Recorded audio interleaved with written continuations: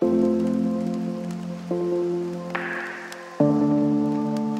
everyone, Lisa here with MarineMax. We are coming to you with another boating broadcast.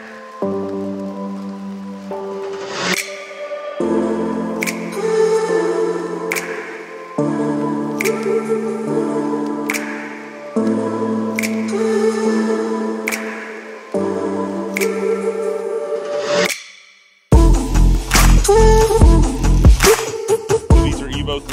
the highest, best quality you can get from Simrad.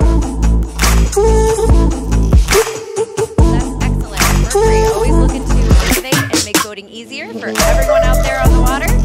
Thank you to everyone that stopped and talked boating with us. We hope you enjoyed the 2022 Discover Boating Miami International Boat Show, and we look forward to seeing you next year.